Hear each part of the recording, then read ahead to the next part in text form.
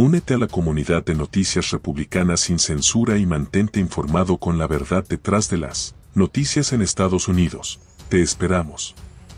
El improbable festival de amor entre Trump y Newsom ha sido tema de conversación en los círculos políticos y medios de comunicación, a pesar de tener puntos de vista políticos opuestos y una historia de ataques verbales en la arena pública. El expresidente Donald Trump y el gobernador Gavin Newsom han sorprendido al mundo al revelar su amistad en una entrevista reciente. En una entrevista con Tucker Carlson en Fox News, Trump elogió al gobernador de California, diciendo que siempre había sido muy amable con él. Carlson, quien ha sido crítico con Newsom en el pasado, se mostró sorprendido por la amistad entre los dos líderes. La relación de Trump con los políticos suele ser conocida por su estilo de ataque y corte, pero en el caso de Newsom, parece ser una excepción. El gobernador también ha evitado atacar a Trump, a pesar de sus diferencias políticas y las tensiones entre los demócratas y los republicanos. La posible razón detrás de esta relación sorprendente puede estar en los rumores de que Newsom podría ser el plan de contingencia de los demócratas para las elecciones de 2024 en caso de que el presidente Joe Biden flaqueara. Sin embargo,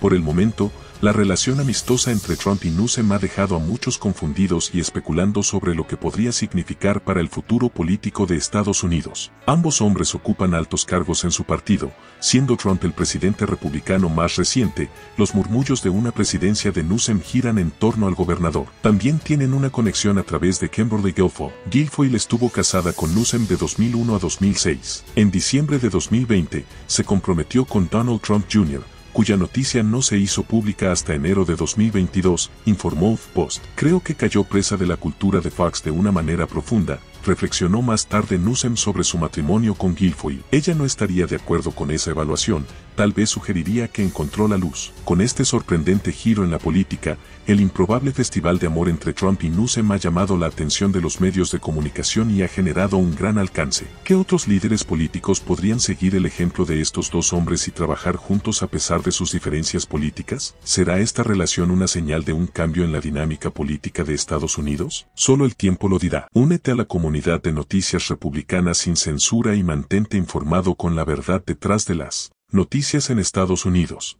Te esperamos.